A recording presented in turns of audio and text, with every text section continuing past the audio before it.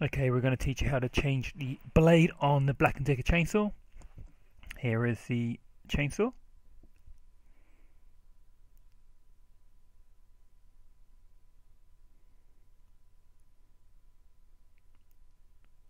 Start by twisting the orange knob and then the outer black part of the knob as well.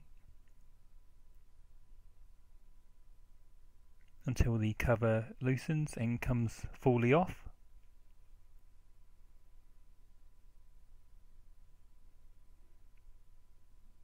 It may take you a few tries. Okay, then this, you can remove this whole assembly and then simply take off the old chain from the blade itself.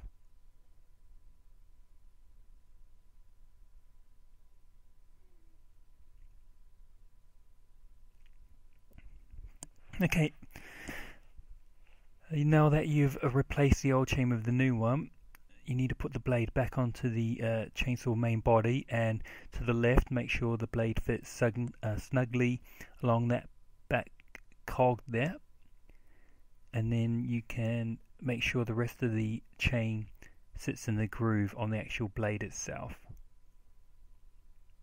It's pretty fiddly, so it'll probably take you a few tries.